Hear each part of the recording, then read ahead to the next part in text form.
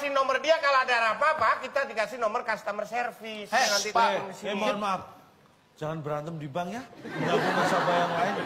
Nomor handphone. Nomor Baik, Pakai saat handphone. membuka tabungan di bank, kita mendapatkan nomor handphone. Handphone. Apa itu jawaban? Lagi handphone pakai E. Sayang sekali tidak ada yang bisa menjawab dan ternyata Boleh coba jawabannya pak? Silakan. Handphone mau pakai E ya? Tertulis. tertulis. Kenapa nggak kepikiran? Bener apa ya? Enggak. Jadi yang benar apa nih Pak kira-kira Yang benar kita buka. Saat membuka tabungan di bank, kita mendapatkan nomor, ini dia jawabannya. Beda-beda.